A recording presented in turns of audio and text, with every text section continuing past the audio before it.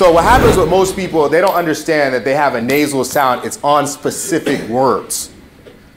People, a lot of times when you're trying to improve your voice, you're looking in the wrong spot. You want to change the sound. Everything we're doing today, it's all about the physiology. It's all about the science.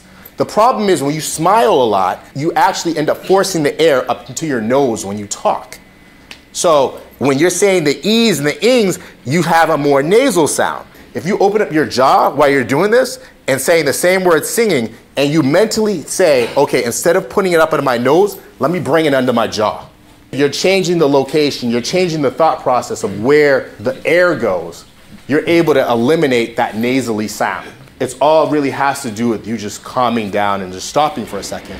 Because really, in terms of speaking and negotiation and everything, there's a lot of little things that really help that aren't that sexy, but really help and make a difference. And the major thing is breathing. Before you walk up on stage, one of the best things, or even a telephone call, any of that stuff, you walk up, you fill up your diaphragm with air. You just take a deep breath. And what happens is I've seen a lot of you guys take a deep breath and your shoulders went up. When you fill up the air in your diaphragm, you don't want to focus on your stomach getting bigger. I know we want our abs to look good, but we want to focus on your stomach because what will happen is your stomach and your back will get bigger, right?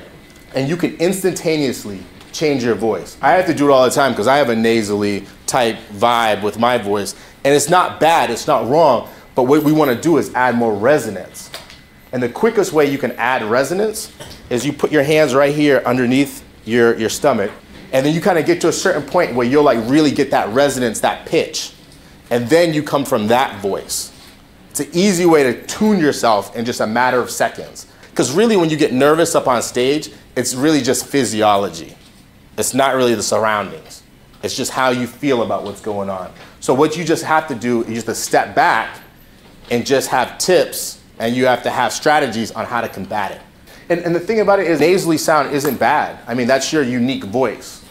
But the key thing about it is you want to make sure that it has that resonance, it has that pitch, so that it's like, okay, if that's the way, you know you can control it as much as you want. You ever do something and uh, you make a mistake and then you're saying to yourself, like, why do I sound so guilty? Because it's your physiology takes over what you're projecting on the outside. So that's why it's important to prepare, prepare, prepare, because no matter how you're feeling, whether you say it or not, you're projecting that out to everyone. So the best thing you can do is just be relaxed and then come from that state.